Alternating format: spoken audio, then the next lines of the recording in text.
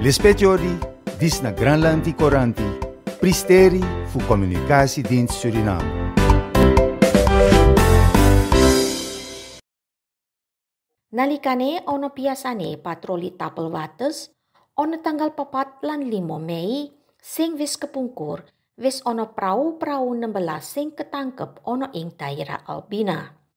Patroli kecampuran iki peparengan karo kapolisian-polisian, kapolisian militer-militer, marina lan drone unit songko nasional leger, sing nemoni wong Brasili telu, sing ilegal. Niat iki kanggo njembarake karo drones ake kanggo joko tapel wates sing luwe efektif.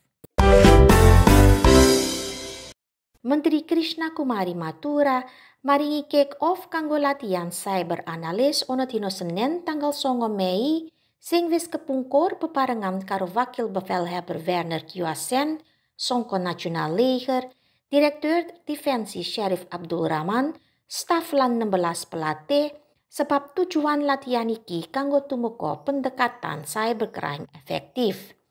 Menteri Matura anggone matur kanggo Suriname wikatini banget ana kahanan digital saiki kudu siap marang ancaman sistem bisa dihack otomatis uga duit simpenan ono imbang bisa dihack.